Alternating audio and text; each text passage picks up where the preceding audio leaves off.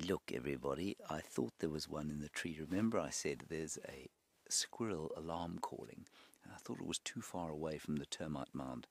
And there is the other one there sitting in the tree. Isn't that cool? Look at that tree. All I heard was alarm calling there, and I then put my binoculars onto that tree, and I thought there's something in there. And there is little, I don't know, I, I think that's Charlotte. Although George seemed to be the tree climber earlier, I think that's Charlotte. The eyes are just slightly browner than the one we've been looking at. Isn't that cool?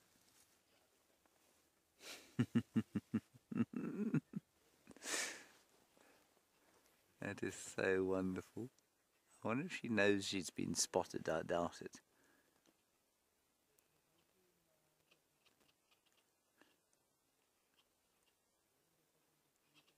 Uh, one, that's definitely Charlotte, everyone. I can see the eyes. They're much browner. Now, Shannon in Ohio, I know this isn't the best view, but we're just going to stick with it for now. And it's shaking because I'm just moving slightly. We're right at the end of the lens. Um, Shannon, you say, will they be able to kill anything at this stage of their lives? Yes, they will. They will kill small things like lizards. Uh, poor, I mean, I know it sounds a bit facetious, but they'll kill things like termites as well. And eventually, fairly soon, they will start to take things like mice and gerbils if they can get hold of them, but also birds. francolins, I think, are the ones that are going to cop it from these two little things. And you can see um, that, or you can hear that there's a squirrel alarm calling at that little leopard, and the leopard will become. I don't know if it's instinctual or whether it is a an instinctual learning process where it will make a she will make a connection between the fact that it becomes difficult to kill things with the squirrel shouting at her. I think very soon, though, she'll realize that the squirrel and the bird alarm calling is a function of her presence, and that will then help her. Once she's made that connection, that will help her to catch uh, smaller prey, you know, because she'll try and avoid being seen by things like squirrels and birds.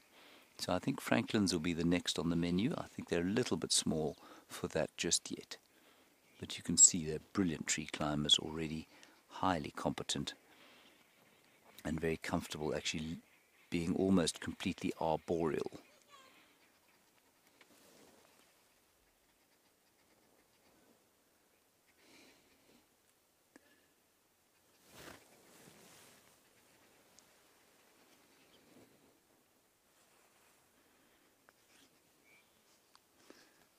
Joey, a nice question from Australia. You say, why do leopards have such small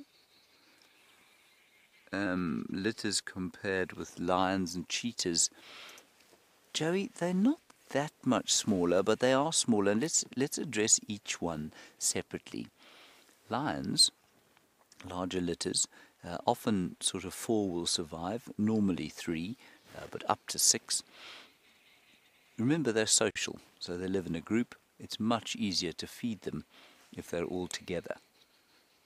Whereas, obviously, with a leopard, she's solitary, she's got only herself to look after them. So, I think it's purely a function of the fact that there's a pride, they're easier to look after when lions, and therefore they're between one and a half to two times the number that they're going to be otherwise. Then, if we look at cheetah, cheetah probably slightly larger litters, Joey, I wouldn't say much larger at all. I mean, I've often seen three cheetah cubs together. That's not too unusual. And I don't think that that's. Um, leopards, you will often find three. Normally, only two will survive, sometimes only one. And I think you'll find with cheetah, there's almost a little bit of what we call R selection, or K selection, sorry, where they almost have extra cubs as an insurance policy. They don't have a very good success rate, and so I think you'll find that they probably maintain three or four for a little bit longer, almost as an insurance policy, Joey. That would be my, my guess for cheetah. Lions more simply because there's more to eat, there's greater protection inner pride.